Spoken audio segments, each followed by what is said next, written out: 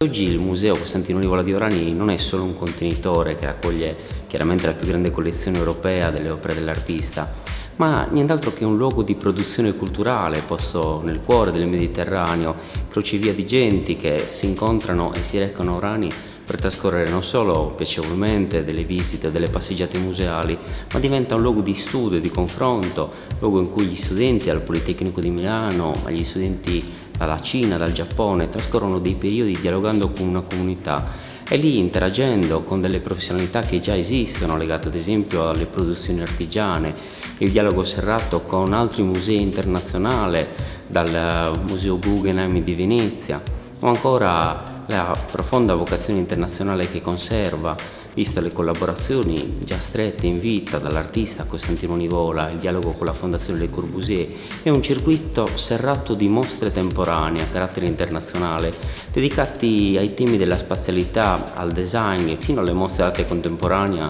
di Salvatore Fancello, artista italiano legato al mondo della ceramica.